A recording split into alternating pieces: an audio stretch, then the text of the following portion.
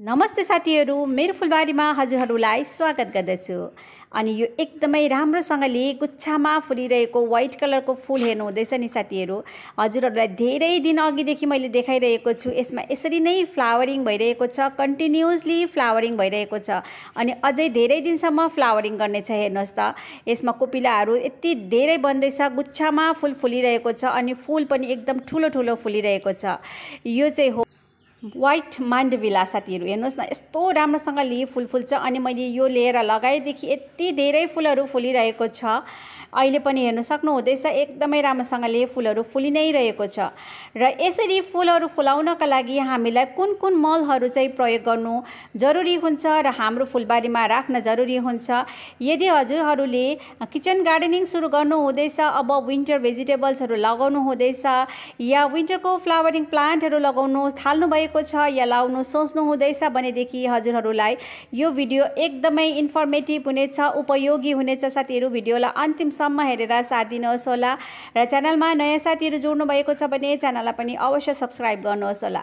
किनभने आजको भिडियोमा हजुरहरू समक्ष म यस्तो फर्टिलाइजरहरू सेयर गर्न गइरहेको छु जुन चाहिँ फर्टिलाइजरहरू हजुरहरूले एकदमै सजिलोसँग पाउनु पनि सक्नुहुन्छ र आफ्नो फुलबारीमा राख्नु सक्नुहुन्छ आफ्नो घरमा राख्नु सक्नुहुन्छ र त्यसको प्रयोग गरेर यसरी नै राम्रोसँगले फुलहरू पाउन सक्नुहुन्छ हेर्नुहोस् त। मेरो यो बिङ्कामा यति मजाले फुलहरू फुलिरहेको छ फेरि साथीहरू।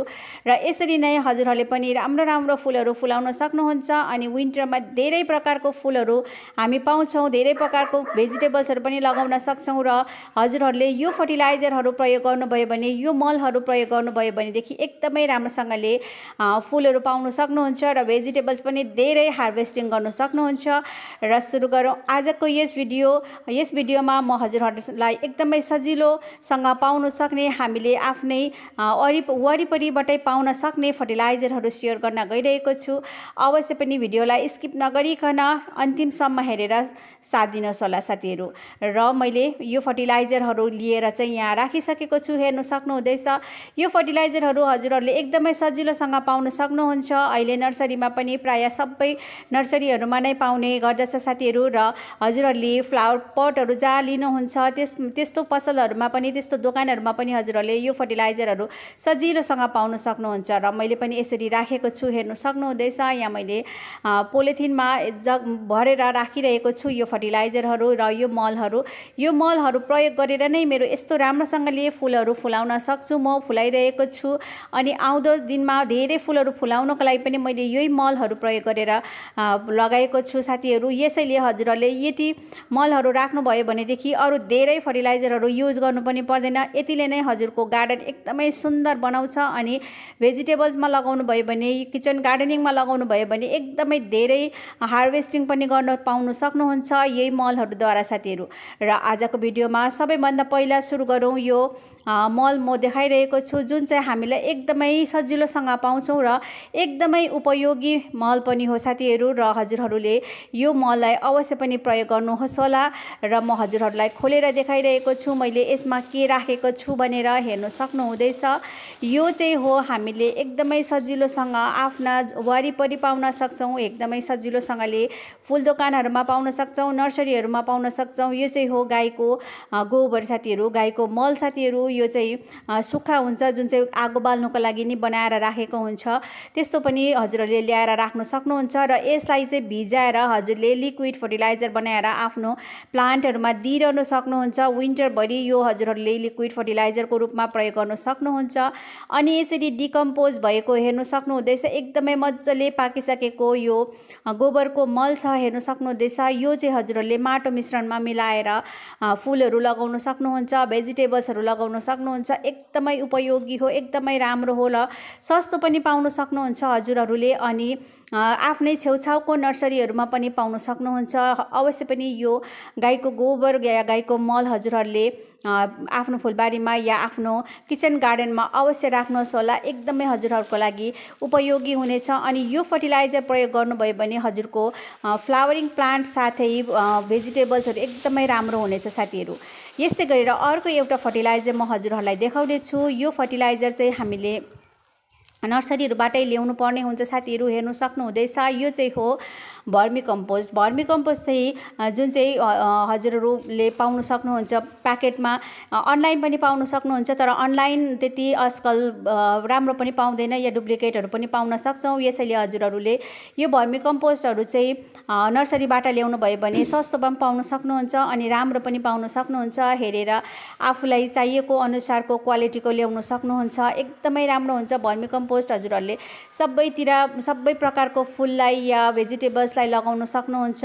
यो चाहिँ गरेउलाबाट बनिएको मल हो साथीहरू र हजुरहरूले भर्मी कम्पोस्ट आफैले घरमा पनि तयार पार्न सकिन्छ तर मैले अहिलेसम्म आफूले घरमा चाहिँ तयार पारेको छैन।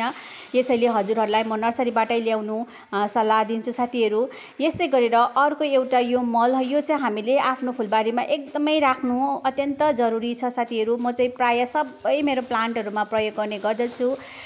र हजुरहरूलाई पनि म सुझाव दिन्छु कि यो चाहिँ हजुरहरूले आफ्नो फुलबारीमा अवश्य प्रयोग गर्नुहोस् होला अवश्य ल्याएर राख्नुहोस् होला। हेर्नु सक्नुहुँदैछ यो चाहिँ हो निमखली।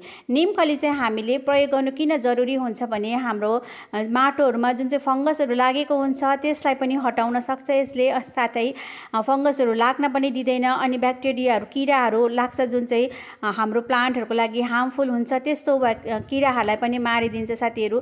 र हजुरहरूले यो निमखली अवश्य पनि प्रयोग गर्नुहोस् होला। हजुरहरूले निमखलीको मल मल बनाउँदाखेरि या माटो बनाउँदाखेरि मिलाउनु पनि सक्नुहुन्छ या हजुरहरूले गोबरको जुन चाहिँ मैले सुकाएको हजुरहरूले अघि देखाएँ जुन आगो बाल्नुको लागि बनाएको हुन्छ त्यस्तो मा भिजाउँदाखेरि पनि यो निमखली पनि लगाएर सँगै भिजाएर प्रयोग गर्नु पनि सक्नुहुन्छ। लिक्विड फर्टिलाइजरमा पनि एकदमै राम्रो हुन्छ। हाम्रो प्लान्टहरूको लागि एकदमै राम्रो हुन्छ। भेजिटेबल्सहरूमा सबैमा प्रयोग गर्नु सक्नुहुन्छ।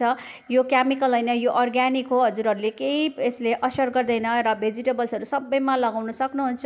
एकदमै राम्रो ग्रोथ हुन्छ भेजिटेबल्सहरूको पनि अनि किराहरू पनि लाग्दैन साथीहरू। र निमखली चाहिँ अवश्य प्रयोग गर्नुहोस् होला त्यस्तो धेरै महँगो पनि पर्दैन। र हजुरहरूले यो नर्सरीहरूमा प्रायः सबै नर्सरीहरूमा नै पाउन सक्नुहुन्छ। अनि हाम्रो यस्तो फुलको जुन चाहिँ पसलहरू हुन्छ दोकानहरू हुन्छ जहाँ प्लान्टरहरू पाउँछौँ हामी हौ त्यसमा पनि पाउन सक्नुहुन्छ।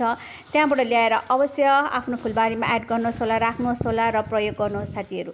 अनि सबैभन्दा सस्तो र सबैभन्दा उपयोगी फर्टिलाइजर र मल हजुरलाई म देखाउन गइरहेको छु। यो चाहिँ एकदमै उपयोगी मल हो साथै एकदमै सस्तो पनि पाउन सक्नुहुन्छ हेर्नु सक्नुहुँदैछ। यो चाहिँ पिना।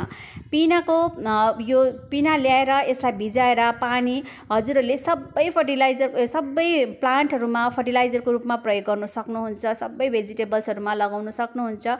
एकदमै सस्तो पनि पर्छ हामीलाई यो मल अनि हजुरहरूले बनाउनु पनि सजिलो हुन्छ साथै हजुरहरूले प्रयोग पनि सबैमा गर्न सक्नुहुन्छ र यो पिना पनि हजुरहरूले विन्टर भेजिटेबल्सको लागि प्रयोग गर्नुको लागि अवश्य आफ्नो फुलबारीमा एड गर्नुहोस् होला। अनि यस्तो धुलो हुन्छ नि साथीहरू जुन चाहिँ यो धुलोलाई चाहिँ हजुरहरूले माटो मिश्रण बनाउँदाखेरि पनि अलिअलि लगाउँदा लगाएर माटो मिश्रणमा पनि मिलाउन सक्नुहुन्छ साथीहरू। र त्यसरी पनि युज गर्न सक्नुहुन्छ। अनि यस्तो ठुलो ठुलो जुन चाहिँ सलिड छ यसलाई चाहिँ भिजाएर हजुरहरूले लिक्विड फर्टिलाइजरमा पनि प्रयोग गर्न सक्नुहुन्छ।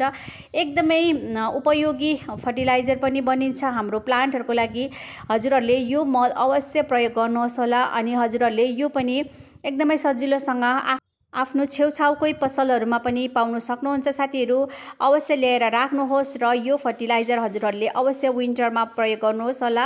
एकदमै यसले हजुरहरूलाई एकदमै राम्रो रिजल्ट दिनेछ। प्लान्टहरूमा ग्रोथ राम्रो हुन्छ फ्लावरिङ धेरै हुन्छ साथै भेजिटेबल्सहरू पनि एकदम धेरै हार्भेस्टिङ गर्नु पाउनुहुन्छ। यो फर्टिलाइजर हजुरहरूले प्रयोग गर्नुभयो भने र हजुरहरूले यो अवश्य लगाउनुहोस्। यस्तै गरेर अर्को एउटा जरुरी जुन चाहिँ हामीले आफ्नो प्लान्टहरूको लागि राख्नुपर्ने हुन्छ र यो चाहिँ म प्रायः नै युज गर्ने गर्दछु र हजुरहरूलाई मैले सेयर गरिरहेको छु।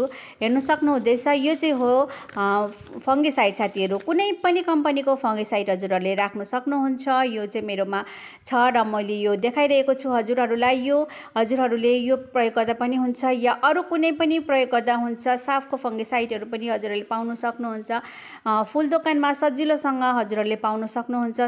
फङ्गिसाइडहरू र फङ्गिसाइड पनि राखिराख्नुहोस् होला किनभने फङ्गसहरू लाग्न सक्छ र फङ्गसहरू लाग्दाखेरि चाहिँ हजुरहरूले यसलाई पानीमा फिटेर स्प्रेहरू गरिदिनु भयो भनेदेखि फङ्गसहरू हटिन्छ एकदमै राम्रोसँगले ग्रोथ हुन्छ प्लान्टको। अनि हजुरले माटो मिश्रणमा पनि अलिअलि लगाउन सक्नुहुन्छ र म चाहिँ प्रायः सबै प्लान्टहरूमा या फुलहरूमा लगाउने गर्दछु र हजुरहरू समक्ष यो सेयर गरिरहेको छु। यो पनि हजुरहरूले अवश्य राख्नुहोस् होला आफ्नो फुलबारीमा अनि विन्टर भेजिटेबल्सको तयारी गर्दै हुनुहुन्छ भने पनि प्रयोग गर्नु सक्नुहुन्छ। साथै हजुरहरूले विन्टरको फ्लावरिङ प्लान्टहरूमा पनि प्रयोग गर्नु सक्नुहुन्छ। एकदमै राम्रो रिजल्ट पाउनुहुन्छ र हजुरहरूले कुनै पनि कम्पनीको फङ्गिसाइड एउटा राख्नुहोस् होला आफ्नो फुलबारीमा अनि प्रयोग गर्नुहोस् होला साथीहरू। साथै अर्को एउटा एकदमै हामीलाई युजफुल यो राख्नु सक्नुहुन्छ। यो चाहिँ हो निम ओइल यसले चाहिँ किराहरू मार्नको लागि हजुरहरूलाई एकदमै सहायता गर्छ साथीहरू र हजुरहरूले यसलाई पानीमा फिटेर स्प्रे गर्नु सक्नुहुन्छ। यो चाहिँ अर्ग्यानिक हो। हजुरहरूले यो सबै भेजिटेबल्सहरूमा पनि प्रयोग गर्न सक्नुहुन्छ। हजुरहरूले यो प्रयोग गर्दाखेरि यसमा अलिकति सेम्पू मिसाउनु भयो भनेदेखि एकदमै राम्रो रिजल्ट पाउनुहुन्छ। या अलिकति ह्यान्डवास मिलाउनु भयो भने पनि हुन्छ साथीहरू। र स्प्रे गरिदिनु भयो भनेदेखि एकदमै राम्रो रिजल्ट पाउनुहुन्छ किराहरू लागेको सबै हटिन्छ र हजुरहरूले यो चाहिँ तिन चार दिनमा प्राय प्रयोग गरिरहनुहोस् होला किराहरू धेरै लाग्दैछ भनेदेखि चाहिँ अर्ग्यानिक हो त्यसले गर्दाखेरि केही हार्म हुँदैन। हजुरहरूले यो पनि आफ्नो फुलबारीमा अवश्य राख्नुहोस् होला र विन्टर भेजिटेबल्समा विन्टर गार्डनिङको लागि यो एकदमै जरुरी हुन्छ र मैले आज हजुरहरूलाई यो मेरो भएको फर्टिलाइजरहरू या भनौँ मलहरू जति पनि मैले राखेको छु यो चाहिँ हजुरहरू समक्ष सेयर गरिरहेको छु र हेर्नु सक्नुहुँदैछ। यो मैले मलहरू यसरी राखेको छु। हजुरहरूले यो मैले भने जति मलहरू राख्नुभयो भने अरू कुनै केमिकल फर्टिलाइजरहरू हजुरले युज गर्नु पर्दैन। यतिले नै हजुरको फुलबारी एकदमै ढकमक्क भएर फुलले ढाक्ने छ साथै किचन गार्डनिङ गर्नु चाहनुहुन्छ भने किचन गार्डनिङमा पनि एकदमै धेरै फलहरू फल्नेछ। फ्रुटिङ एकदमै बेसी हुनेछ र हजुरहरूले टिपेर टिपी नसक्नु फुल फ्रुट्सहरू या भेजिटेबल्सहरू फल्छ साथीहरू यो प्रयोग गर्नुभयो भने यो मलहरू प्रयोग गर्नुभयो भने यसैले हजुरहरूले यति एकदमै प्रयोग गर्नुहोस् होला। Happy gardening